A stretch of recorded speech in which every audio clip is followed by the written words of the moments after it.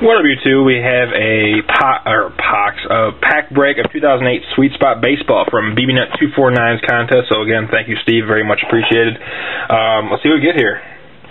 Um, Steve, again, like I said in the first video, Steve always has like the best contest prizes, so you gotta check out BB Nut 249. I'll put the link in the top right hand corner. So let's get sliced on this sucker.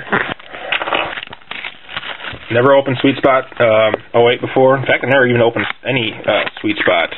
Um, so that's very cool. So we'll do the uh, fast steady shake.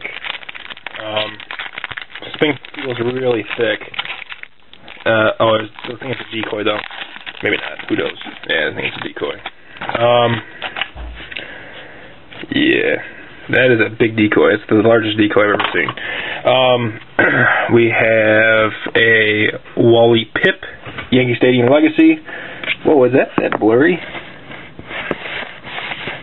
Man, sorry about that. Um, Grady Sizemore base, Magglio, Alex Rios. We have a dual jersey, it looks like. Uh, we got base of Chris Carpenter, Jimmy Rollins, and Pedro Martinez. And a dual jersey, oh, quad, sweet.